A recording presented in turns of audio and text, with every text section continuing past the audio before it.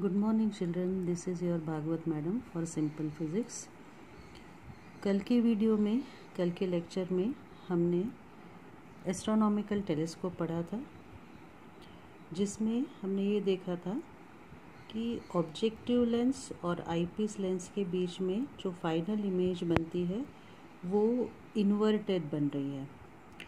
मतलब कि दूर से आने वाली ऑब्जेक्ट्स की तरफ़ से जो रेज हैं, वो फाइनल इमेज को टेलीस्कोप की हेल्प से इन्वर्टेड बनाती है।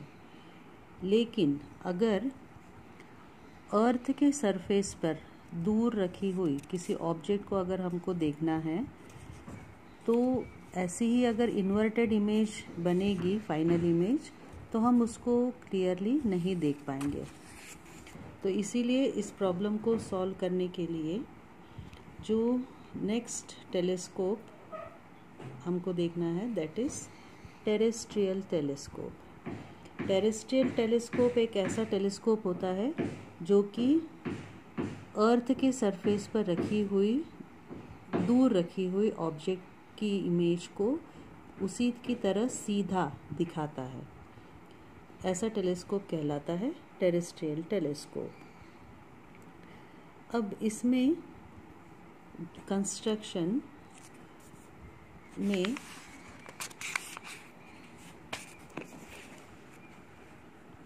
ये देखिए, ये इसका कंस्ट्रक्शन है।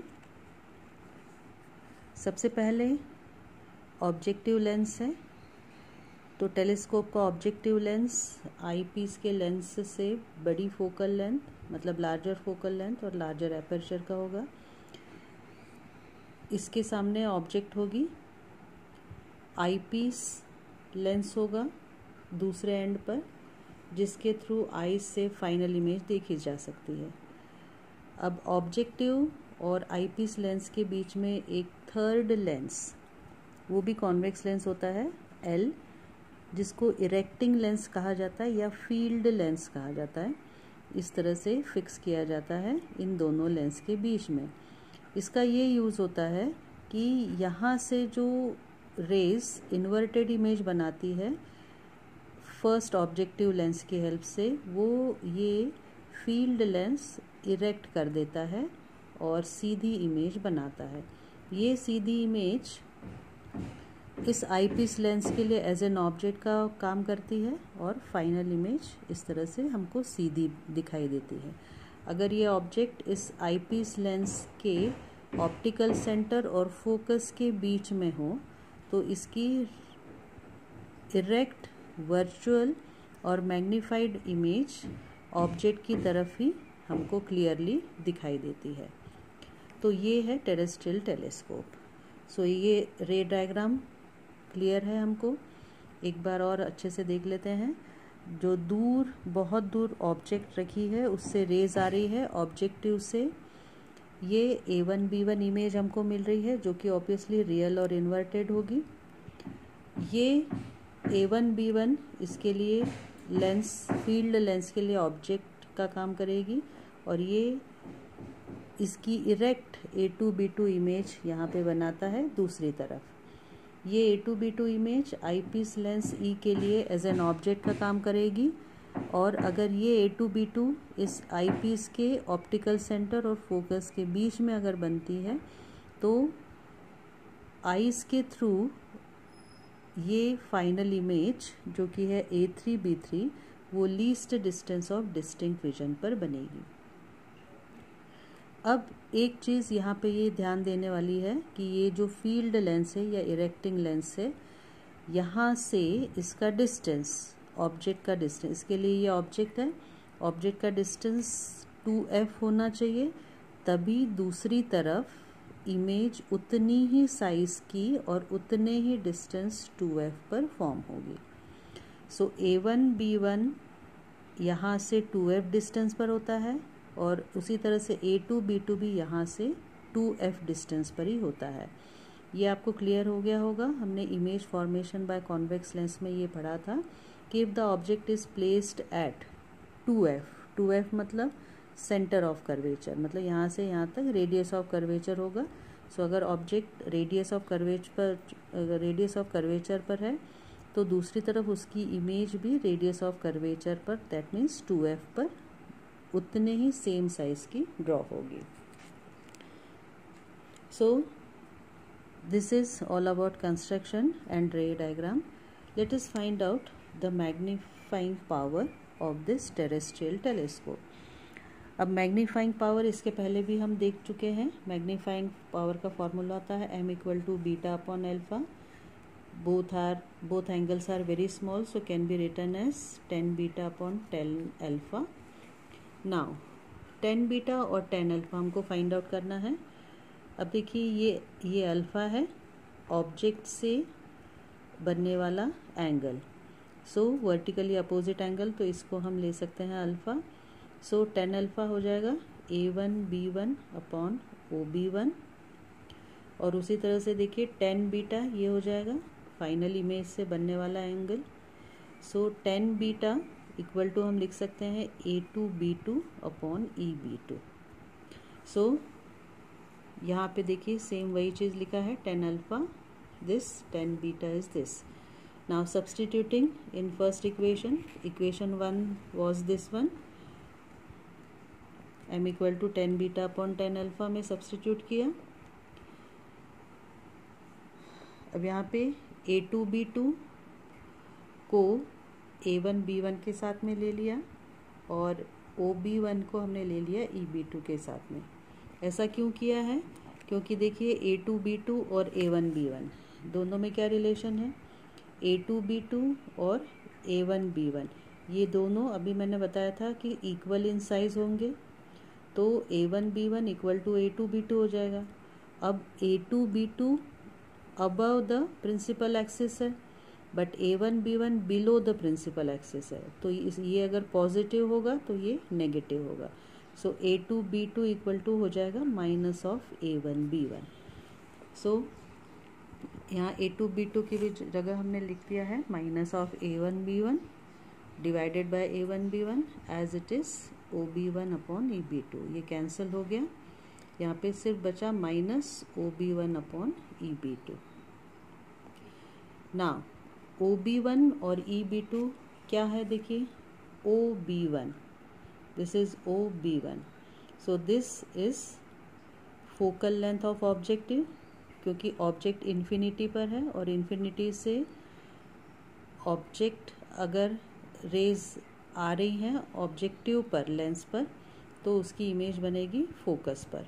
सो ओ बी वन हो जाएगा फोकल लेंथ ऑफ़ ऑब्जेक्टिव मतलब F O and E B two what is E B two E B two अब ये जो है ए टू बी टू ये इसके लिए एज एन ऑब्जेक्ट का काम कर रही है। एंड टूवर्ड्स लेफ़्ट है। तो ये हो जाएगा माइनस। सो so, अब देखिए यहाँ पे। ये माइनस था ऑलरेडी तो यहाँ पे लिख लिया हमने minus F O E B two अभी हमने देखा माइनस यू ई होगा। टूवर्ड्स लेफ़्ट साइड है। दोनों कैंसिल होके एम इक्वल टू हो गया F O upon U E let this be equation three now जैसे इसके पहले भी हमने देखा था केस वन केस टू हमको लेना पड़ेगा magnification when the final image is formed at least distance of distinct now The final image is formed by eyepiece lens. So we can apply the lens formula for eyepiece lens. So 1 upon Fe equal to 1 upon Ve minus 1 upon Ue. Next step one upon V equal to अब final image बन रही है D पर least distance पर, और eyepiece lens के towards left है so it will become minus D minus U E U E भी देखिए माइनस होगा, क्योंकि इसके लिए ऑब्जेक्ट भी टूवर्ड्स लेफ़्ट है. सो माइनस अब ये माइनस माइनस हो गया प्लस हमको फाइंड आउट करना है वन बाई यू ई की वैल्यू जिससे कि हम इस इक्वेशन में सब्सटीट्यूट कर सकें. So one by U E यहाँ से हो जाएगा one by F E plus one by D अब इसकी वैल्यू इस इक्वेशन थ्री में सब्सटीट्यूट करेंगे। Then we will get this one we can take F E common so magnification equal to हो गया F O upon F E in bracket one plus F E upon D अब इस case में देखिए, जो length of terrestrial telescope क्या होगा? दोनों लेंस के बीच का distance so length of the telescope, O से ई e तक का, जो टोटल डिस्टेंस है, उसको हम थ्री पार्ट्स में डिवाइड कर सकते हैं। First O B one plus B one B two plus B two E अब O B one O B one हो जाएगा focal length of objective lens next B one B two हो जाएगा four F क्योंकि B one से यहाँ तक का डिस्टेंस है टू एफ़ और यहाँ से बी टू तक का डिस्टेंस है टू एफ़ तो दोनों मिला के हो जाएगा two F plus two F four F B two से लेकर ई e तक का डिस्टेंस है यू ई e, क्योंकि इसके लिए ये ऑब्जेक्ट है। तो इस तरह से ऑब्जेक्टिव और आईपीस के लेंस के बीच का डिस्टेंस मतलब total length of terrestrial telescope in this case will be F O plus four F plus U E हो जाएगा। So F O plus four F plus U E अब second case देखते हैं when the final image is formed at infinity final image infinity पर form होने के लिए ये जो ऑब्जेक्ट है, इसके लिए ए टू बी टू वो होनी चाहिए इसके फोकस पर। जब ये ऑब्जेक्ट इसके फोकस पर होगी, जैसे यहाँ पे दिखाया गया है तो फाइनल इमेज बनेगी इन्फिनिटी पर। सो so, इस कंडीशन में आई जो है वो रिलैक्स कंडीशन में होती है। That means eye is set to be in relax condition eye is relaxed because no image can be seen by the eye so in this condition अब यू ई e क्या हो जाएगा? मतलब इसके लिए आई पीस लेंस के लिए object होगी फोकस पर। तभी फाइनल इमेज इन्फिनिटी पर बनेगी। सो ये हो जाए एफ़ ई की जगह हो जाएगा यू ई सो यहाँ पे देखिए, इस कंडीशन में F O upon U E की जगह हो जाएगा एफ़ ई तो magnifying power for case two when final image is formed at infinity will be F O upon F E so this is for first condition and this will be for second condition.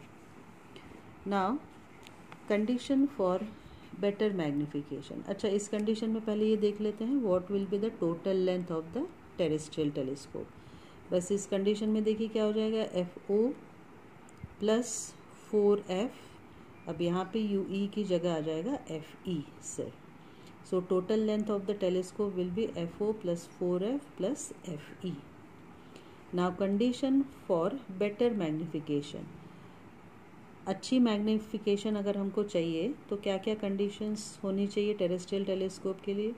सबसे पहले तो ये होगा कि F O should be greater मतलब focal length of objective must be greater second F E should be small मतलब focal length of eyepiece should be less so this is all about the terrestrial telescope. Good day and goodbye